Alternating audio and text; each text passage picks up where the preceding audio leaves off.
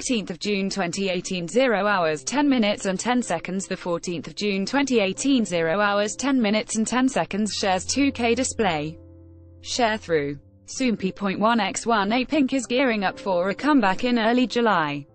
See also, 10k pop idols who could easily be mistaken for being maknaes of their group on June 14. It was reported that Apink had already filmed their music video and was preparing to make a comeback next month. Soompi. Display. News. English .300x250, BTF Soompi. Mobile. English .300x250, ATF Plan A Entertainment confirmed the news and stated, Apink is preparing for their comeback with the goal of returning in the first week of July. They recently wrapped up filming for their music video and are currently going over necessary details before their comeback. This will be Apink's first comeback in approximately a year since last June's mini-album, Pink Up, and title track 5, excluding the special single they released in April to celebrate their 7th anniversary this year.